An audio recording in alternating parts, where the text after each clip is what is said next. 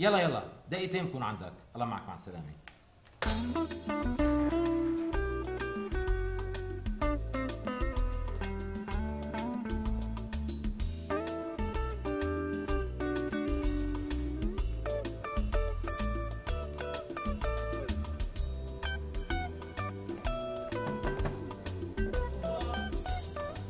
يعطيك العافية أستاذ علاء.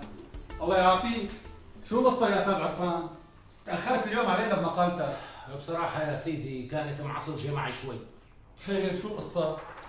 ما لا بالعادة مقالاتك تعصلج معك؟ صحيح بس هالمره فهمني هلا شو موضوع مقالتك اليوم؟ مثل العادة انتقاد المسؤولين والحكومة. وبدها المسألة كل هالتفكير وكل هالطولة إيه صار لك 22 سنة عم تنتقد الحكومة والمسؤولين. بقى شو الجديد بالموضوع؟ هالمرة متقل العيار شوي أستاذ علاء وشلون متقل العيار يعني؟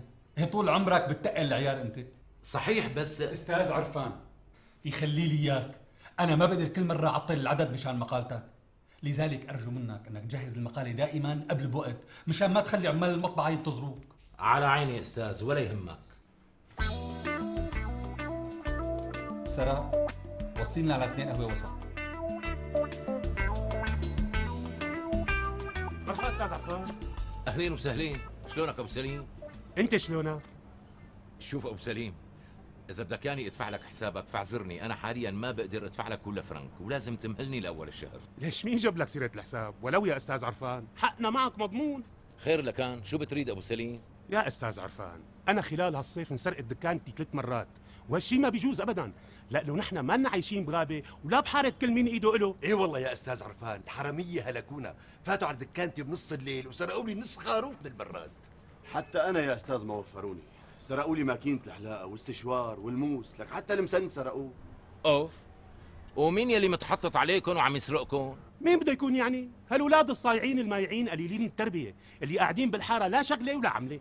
طيب ليش ما بتشتكوا للشرطة؟ ومين قال لك ما اشتكينا؟ إيه وشو كانت النتيجة؟ يا سيدي بيمسكوهم وبيحبسوهم كم شهر بهالسجن بعدين بيطالعوهم وبيرجعوا أمروا العن من الأول. إيه والله يا أستاذ عرفان. لا واللي بدشك أكثر إنه عم يسرقوك بوقاحة. ما تربوا من الحبس اللي حبسوها؟ طيب عفوا يا جماعة أنا شو دخلني؟ يعني بقش بقدر ساعدكم؟ أستاذ عرفان أنت صحفي مهم والكل بيحسب لك حساب. بقى لازم تنبه المسؤولين حتى يهتموا بأمن المواطن أكثر لا لا يا أبو سليم أنا هالشغلات ما بتدخل فيها منوب ولا بكتب عنها على الإطلاق. ما بحب خوض فيها لا من قريب ولا من بعيد. ليش بقى؟ أخي أنا نادر قلمي لمهاجمة المسؤولين العرب وانتقادهم من النواحي السياسية الثقيله يعني شغلتي بالتحديد هي شجب التصرفات الغاشمة لبعض المسؤولين السياسيين الكبار. مو كلهم لأنه في مسؤولين بينشربوا مع المي العكره هيك يبدو لي. وبالتالي مهمتي الرئيسية هي إلقاء الضوء المكثف على ممارستهم يلي ما بتتمتع بالمصداقية والشفافية اتجاه شعوبهم. هذا شغلي من أكثر من 22 سنة مثل ما بتعرفوا. أما الشغلات المحلية المجأجأة فأنا بمنأى عنها تماما. بالمناسبة في بهالعدد يلي صدر صباح هذا اليوم مقال جريء عم هاجم فيه دون هوادة المسؤولين السياسيين العمالقة أصحاب الثروات ومليارات الدولارات المودعة في بنوك أجنبية. شو عنوان المقال أستاذ؟ الدولار يغزو قلوب السياسيين الكبار.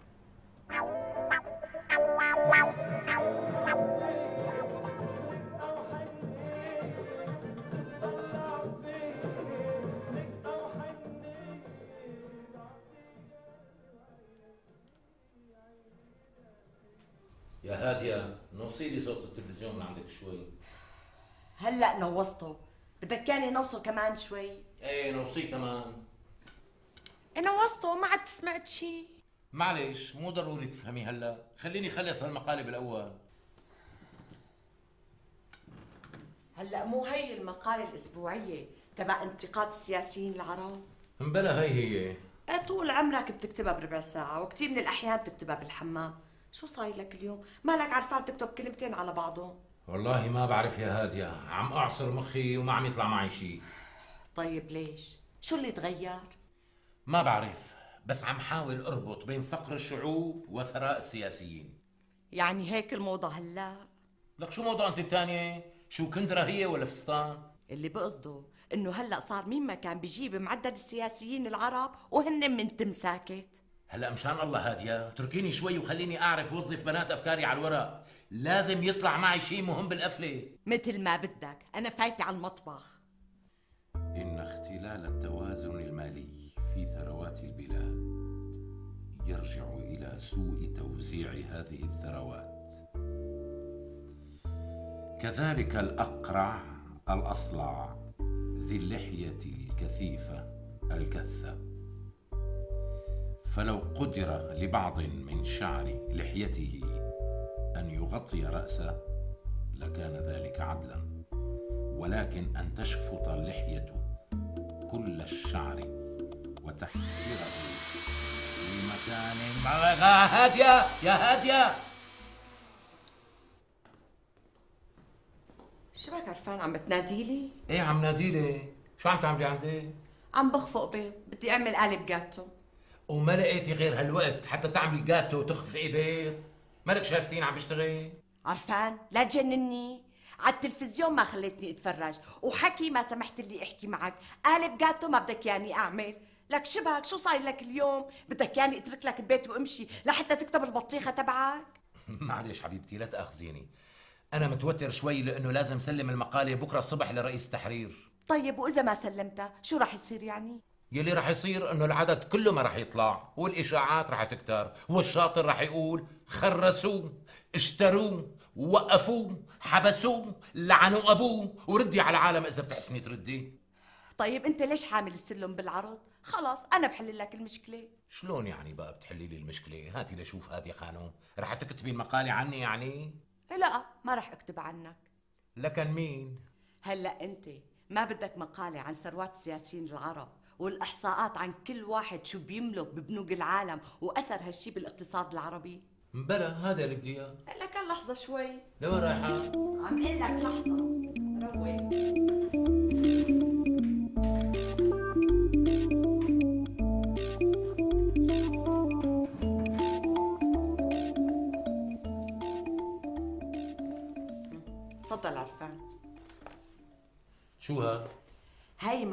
عن الصمود والتصدي والتحدي والإمبريالية الشرسة والصهيونية الغاشمة ولك منين نكشتيها هي؟ إيه بطلانة موضة هالخطاب من زمان قال صمود وتصدي قال إيه وهي مقالة عن الصمت العربي إزاء ما يدور بفلسطين بإمكانك تضيف عليها العراق مين كاتبها؟ مين يعني كاتبها؟ أنت أنا كاتبها؟ إيه ومن 25 سنة احطيها مع جنب تلزم يا سيدي وهي مقالة عن ثروات السياسيين العرب وانتعاش بلدانهم. لو وزعت هذه الثروات على مشاريع تنموية. حلو كتير عظيم جدا. هاتي لشوف تفضل. يا سلام عليكي هذا هو بيت القصيد. شفت إنه أنا بفيدك ببعض الأحيان؟ لك مو بعض الأحيان أنت بتفيديني دائما. بس شلون وقعوا هالمقالات بين إيديكي؟ يا سيدي من يومين كنت عم عزل المكتبة. قام طلعوا بين إيدي واستحونت كبهم. منيح لي ما كبيتيهم بس بتعرفي خايف تكون هالمقالة منشورة ها؟ أكيد منشورة. ومؤرخة ب 25 5 1981 والله يا هادية إذا كانت منشورة مشكلة. ودخيلك. مين رح يدقق إذا كانت منشورة ولا ما منشورة؟ أصبح رح أبيضها على ورق جديد حتى يفكروها جديدة. امم وأنا شو مكافأتي عندك؟ بوسة. يو دخيلك أنت وهالمكافأة. تفضل أستاذ علاء بس لحظة بس لحظة أستاذ عرفان. ها. مع الموافقة؟ ما بدك تقراها بالأول أستاذ علاء؟ وليش رح تقرأها؟ هلا مقالتك مو عن ثروات المسؤولين وانتقاد لسلوكهم؟ طبعا. إيه خلص ما بدي أقراها. المعركة مع المسؤولين ما تزال مستمرة. تفضل. شكرا يعطيك العافية. الله يعافيك. مع السلامة.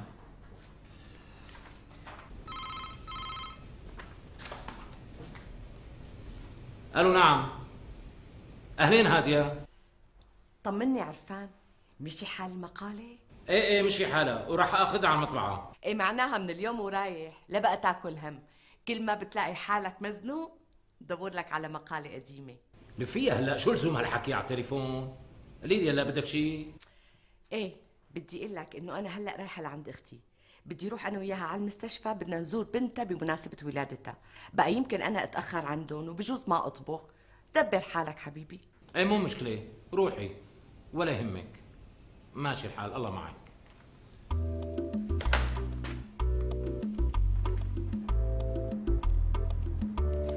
لحظة لحظة يا حباب. وين هربان؟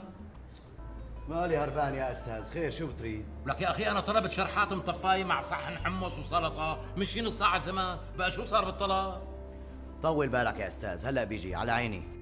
طيب يا أخي نظف لنا الطاولة على الأقل. كب صحن سكاير قيم هالعصير من خلقتي. صار لهم قدامي من وقت ما قعدت على الطاولة. معقولة أقعد على وسط غيري؟ على عيني.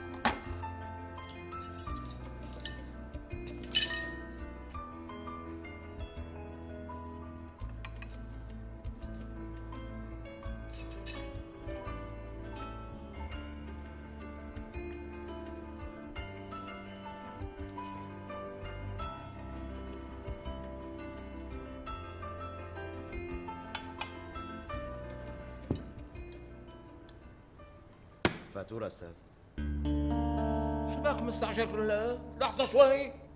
والله يا أستاذ في زباين عم ياكلوا بيملصوا وما عم يدفعوا الفاتورة. لهيك لازم تدفع هلا. بس مالك شايف إنه المبلغ كبير؟ ليش كل قد أنا ما دخلني بالأسعار بدك تشوف المعلم. على عيني منشوف المعلم ها؟ وينه المعلم؟ هلا بناديله. ما في بخشيش أستاذ؟ تفضل ها؟ وهي البخشيش؟ العمى بده بخشيش كمان. لا حول ولا قوة إلا بالله. على إيش البخشيش؟ على الخدمة السيئة؟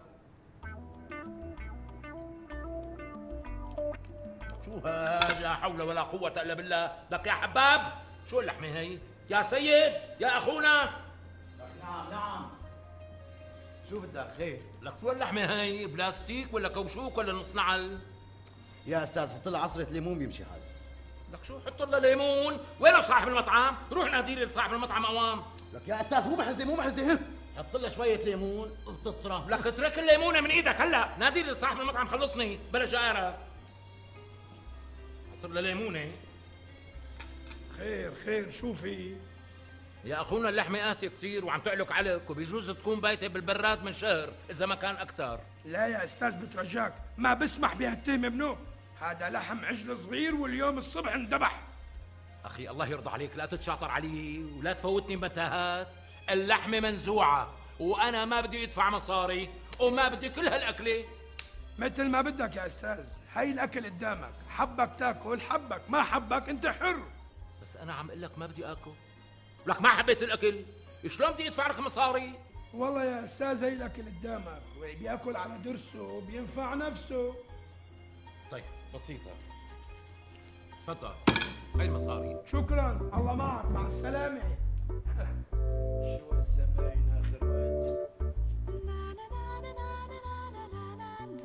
الله وكيلك يا هادية. قدم لي لحمة مثل كوشوك. وصحن حمص يا دوب مبخوخ بخ. وصحن سلطة مثل وشه لا وفوق هالشي أخذ مني 450 ليرة وما أكلت شي. العمى بقلبه. إيه هذا نصاب رسمي. لا ومو بس هيك الجراسين جقرين وما بيردوا عليك منوب إيه وشو رح تعمل معه؟ إن شاء الله رح تسكت له. شو بدي ساوي يعني؟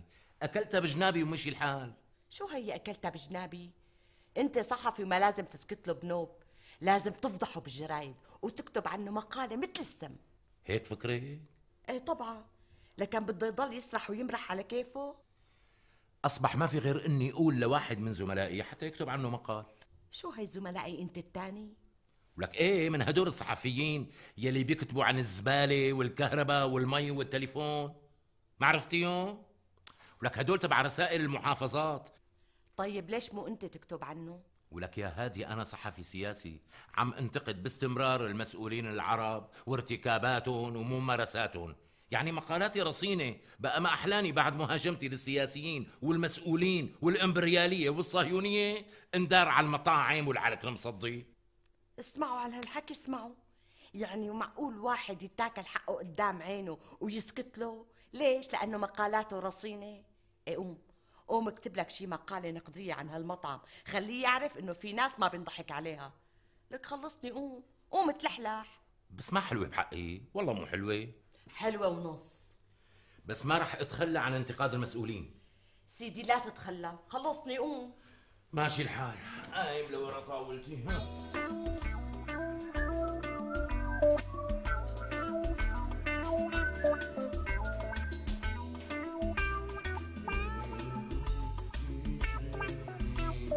هذه الله يرضى عليك اعملي لي فنجان قهوه تكرم عينك.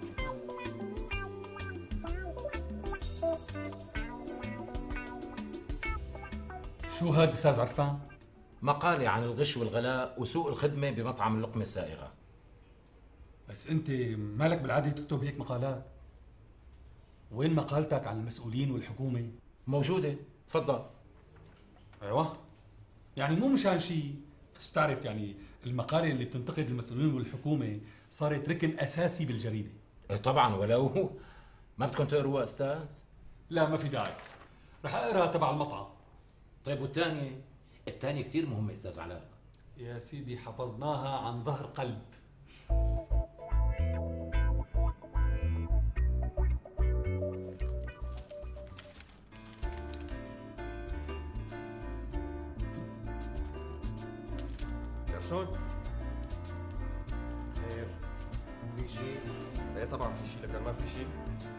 خير شو في؟ وينه صاحب المطعم؟ موجود هيدخل شو؟ معلم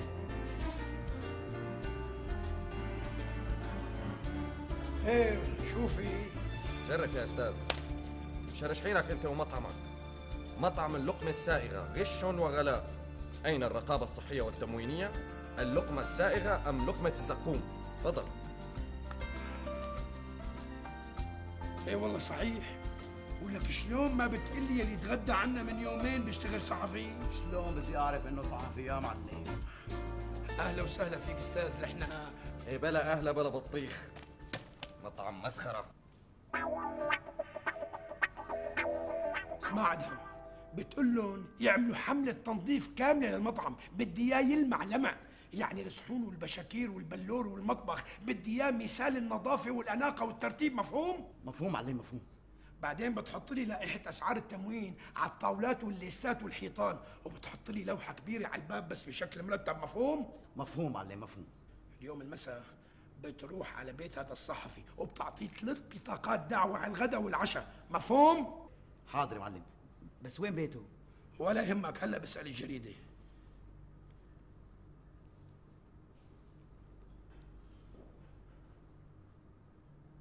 ألو هادية. يا هادية. أهلين عفان جايب حبيبتي. معك؟ شوية خضار وفواكه باذنجان تفاح بقدونس. يعطيك يعني. العافية. الله يعافيكي. شو طبخة اليوم؟ بصراحة أنا اليوم مو طابخة شي. أه؟ ليش مو طبخة؟ لأني عازمتك على الغداء. عازمتيني؟ وشو المناسبة؟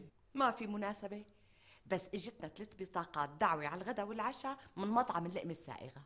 أعوذ بالله قال اللقمة السائغة قال ما فشل نروح لعنده مرة تانية؟ طب ليش؟ قال ليش؟ ولك ما شفتي شو عمل معي المرة الماضية يا هادية؟ أو أنت كمان ما قصرت معه. إيه شرشحته؟ شرشحة بالجريدة. طبعا بدي شرشحه ومشان هيك بده يصالحني هو هلأ. بس ما فشر والله ما بروح لعنده شو ما كان. هلأ لا تعصر عرفان. أنا عزمت أختي باسمك معنا على الغداء. حسبي الله ونعم الوكيل. بس أنا بهالصوره يا هادية بكون عم بيع مبادئي. يو دخيلك أنت ومبادئك. بعدين الزلمة بجوز بده يغير مواقفه. ليش ما تعطيه فرصة؟ شو المانع؟ والله ما بعرف شو بدي أقول لك. لا تقول شي. يلا بسرعة حضر لي حالك وأنا كمان رح حضر حالي على ما تجي أختي. حاضر. يلا. يا أهلا يا أهلا وسهلا. أهلا بأستاذنا الكبير. أهلا. وسهلا. تفضلوا. أهلا مدام أهلا وسهلا. تفضلوا. المطعم نور بوجودكم. الله يسلمك شكرا. يا أهلا وسهلا. تفضلوا أهلا وسهلا. آه شو بتحبوا تطلبوا؟ اطلبوا واللي بدكم إياه. نحن بالامر آه أنا بدي ستيك أوبوار وبطاطا بيوريه وشوية خضار سوتيه تامري مدام. وأنا بدي شرحات مطفايه بس إذا بتريد بدي إياها تكون طرية. راح جيب لك لحمة أطرى من جبنة لشوان آه وحضرتك أستاذ عرفان. أنا بدي دجاج لو سمحت مع صلصة بيضاء. تؤمر أستاذ أنا راح جيب لكم أربع خمس أنواع بتاكلوا اللي بتاكلوه وارموا الباقي إلا إذا عندكم كلاب وقطاط فبهالحالة بنعبيهم بعلب وبتاخذوهم معكم على البيت. لا لا شكرا. أنا ما عندي حيوانات بالبيت. أستاذ عرفان نحن بنعتذر عن المرة الماضية. نحن كنا مخطئين معك وجفصين كتير فلذلك جميعا بنعتذر منك وبنطلب السماح. لا ولا يهمك. ماشي الحال ماشي الحال. الحقيقة كنتوا لازم تعرفوا على حالكم. لأن يلي ما بيعرفكم بيجهلكم تعرفتوا منيح على الأستاذ عرفان مو هيك؟ لا معلم عرفناه. ويا ويلكم اللي بيخربط معه أو مع غيره مرة تانية. أستاذ عرفان بتعتبروا المطعم مطعمكم وعلى حسابكم إمتى ما اجيتوا نحن بهمنا الصحافة لأنه الصحافة بتنورنا وبتصحح أخطائنا كمان. يا سيدي شكرا شكرا لك. ولو العفو أستاذ عرفان. أهلا وسهلا فيك. شايفة يا هادية؟ شايفة شو ساوت مقالة وحدة؟ طبعا شايفة. يعني هالمقالة أحسن من كل شي مقالات كتبتها من عشرين سنة لهلأ. وأنت عم تنتقد المسؤولين والحكومة والسياسيين وما حدا رد عليك ولا عدل موقفه ولا صلح مساره. إيه والله صحيح. في ناس بتغلط وبتحاول هالغلط يتصلح وفي ناس جناب مثل طناب مو سائلة عن الطحطح.